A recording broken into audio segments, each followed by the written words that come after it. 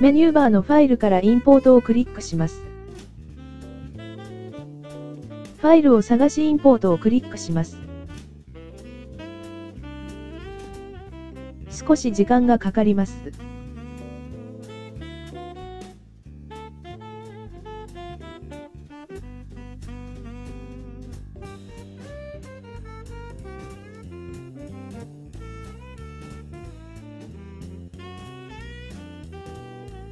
適当な位置に置きます。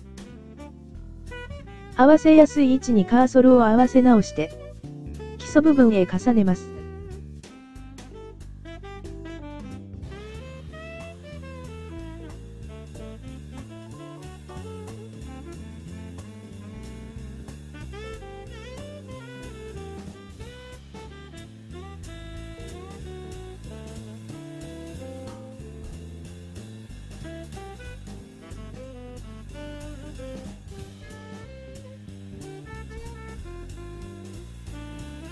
建物がインポートできました。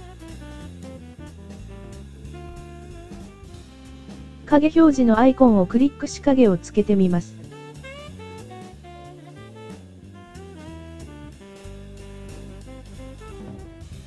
着付けバーと時間バーをスライドさせ、見栄えのする影にします。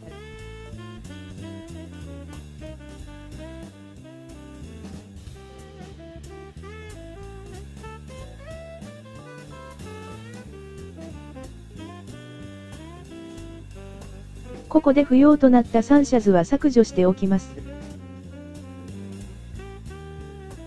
人物も削除します。